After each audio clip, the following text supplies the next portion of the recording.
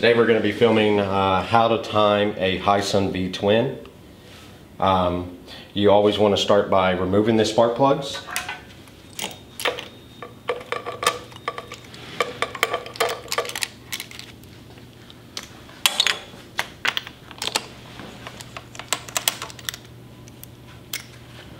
Once you get the spark plugs removed, you want to remove your cam sensor which then will expose your timing marks on the flywheel.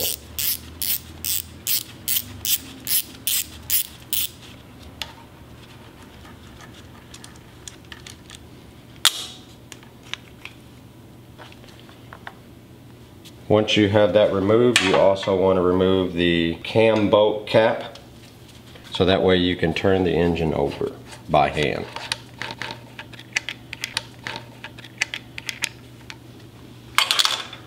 Once you remove your cap, you will proceed to remove the valve covers.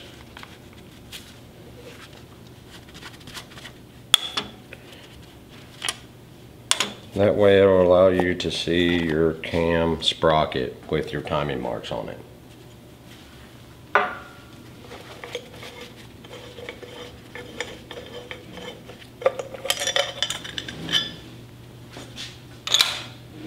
So the first thing you want to do is put the cylinder to the right is always first when you start doing the timing on the V-twin.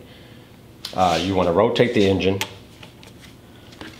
until you see T1 in your axis on the flywheel.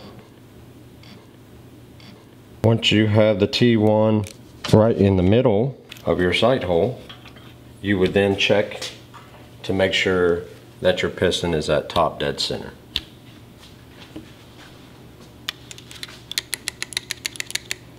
And there you are. You are top dead center. The next thing you would do at this time, you would uh, check your cam sprocket and make sure that your timing marks are horizontal with the head. So you have one here and one here.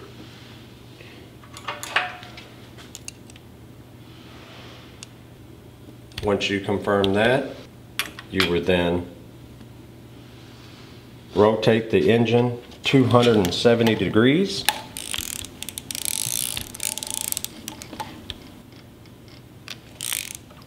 When timing the left cylinder, you want to confirm that your timing mark says T2 on the flywheel. Mm -hmm. And then you would check the piston to make sure it's at top dead center, which it is. The next thing you would do is confirm that your cam sprocket timing marks line up with the head. And that's the way you time your V-twin.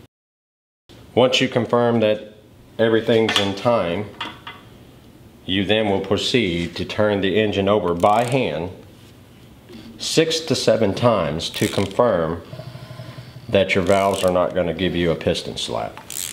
Once you confirm that, your then your engine is in time.